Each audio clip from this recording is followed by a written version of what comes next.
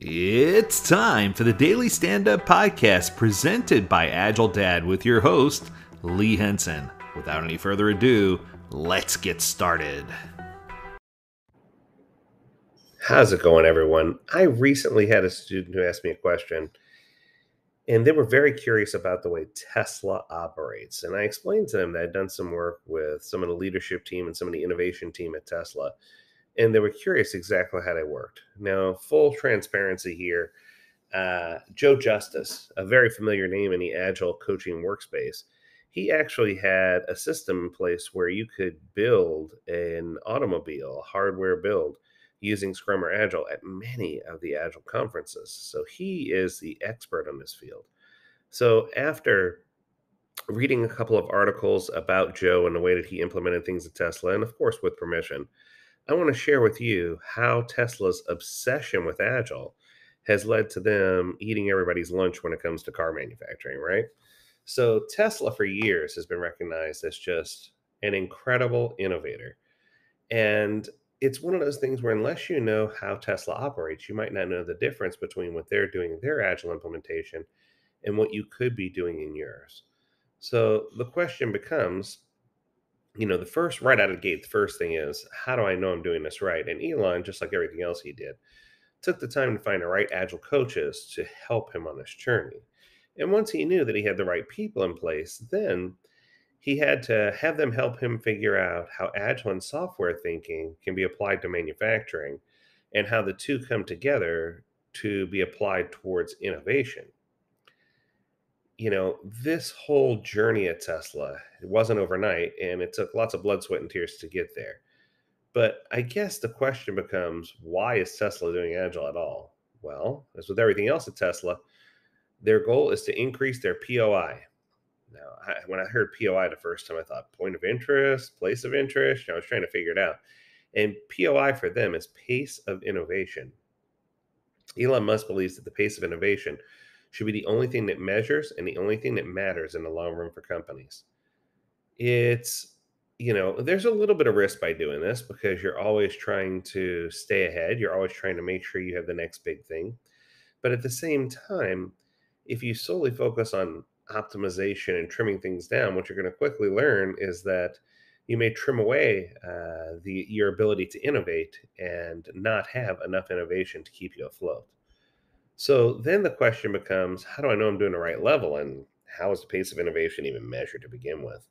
Well, the easiest way to do this is if you track the speed at which you can deploy changes to the product without major errors or defects that will eh, that will end up reaching the end consumer.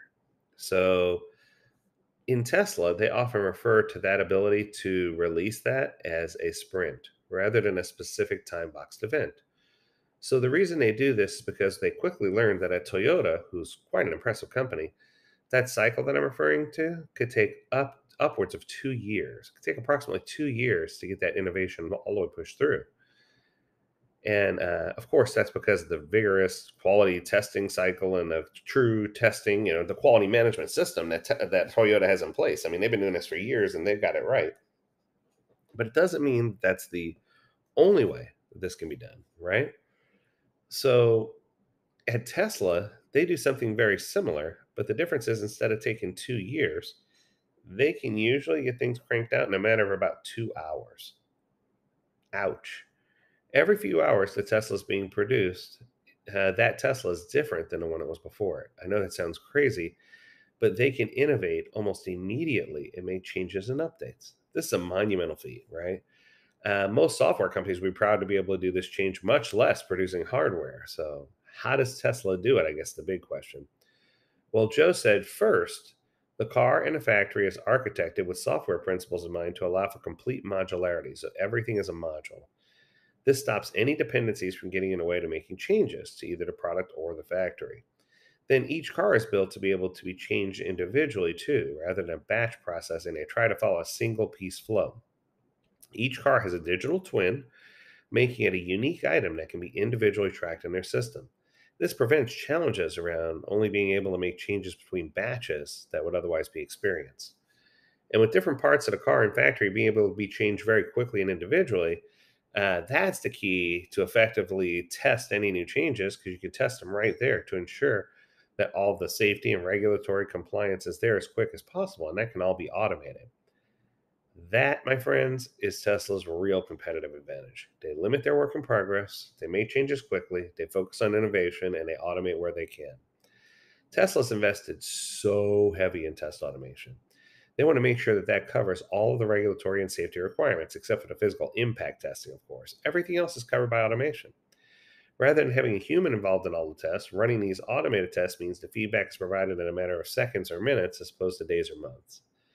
So they call that testing suite factory mode. Now, factory mode allows for incremental changes to be pushed to production quickly, as the cost of testing is just so cheap. It also means that quality never slips in their pursuit of speed making things right. So it made the fact so coincidentally factory mode became so effective as software that that was what they used as the basis for their self-driving AI that they use today. The automated testing suite became a product in and of itself. So I think the key here to message is is that Tesla has a radically different way that they organize and the way they do things. They focus heavily on product owners who can really focus on the work and on the backlogs and making everything clean and easy and straightforward to understand. They have engineers who build quality in and care about quality and make sure quality makes it end to end. But they also don't forget about innovation. So it's one of these things where when it comes to organizing their people, they do something different than everyone else in the industry. So instead of having like straight up defined teams, they have something called the law of two feet, which means that you stand wherever you're the most valuable, right? So every day teams form around critical issues that need to be solved. Whoever has the relevant skills and experience will step in and teach others. Uh, the team will continue to work on that problem until it's solved, and the changes are pushed straight to production.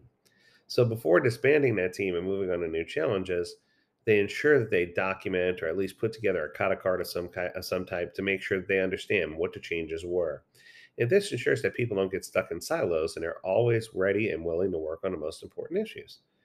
And when you think about it that way, that makes the company rather flat. So there's very little hierarchy. There's generally Elon Musk and everyone else. I mean, there's minimal leadership, but all the engineers are at the same level everyone works together to solve problems. So there's no layers of bureaucracy to get in the way of uh, change happening, right? Uh, even Musk has been known for getting his hands dirty, solving some critical problems within the company. He's been known to step down onto the floor and solve issues. This way, uh, you know that you're getting the highest quality product. So, in a nutshell, the way that Tesla builds cars is just radically different from any other method. It's you know, it's hard to imagine in a hardware regulated industry that you could do something so quickly. But if you think about it, it's the easiest way to get fast results that matter. It's the easiest way to focus on innovation. It's the easiest way to pivot. And it's the easiest way for us to figure things out. So I hope that helps you. Uh, if you have a question or a topic you want us to cover, feel free to reach out to us at learnmore at agiledad.com. We'd love to hear from you. And as always, we encourage you to stay healthy, stay well, and stay agile, my friends. Until next time, do take care.